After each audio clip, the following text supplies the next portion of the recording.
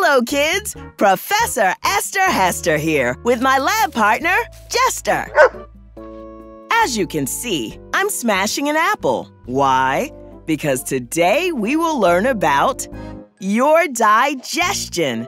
That's a scientific term for how our bodies turn food like this into the things that our bodies need to be healthy.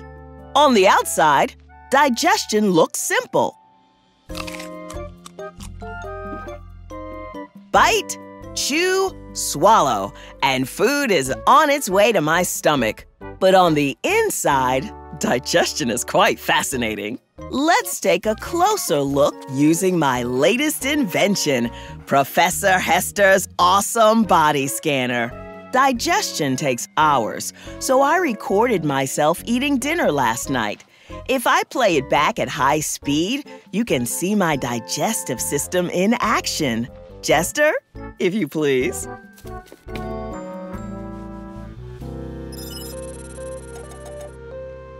My teeth chew and crush the food into small pieces, which is mixed with the saliva in my mouth.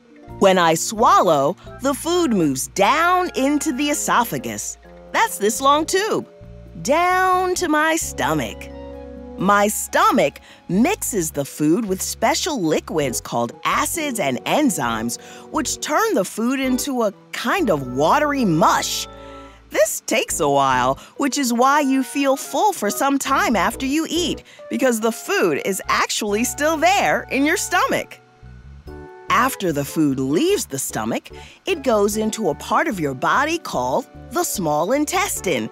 You won't believe what happens there, but we'll save that for another time.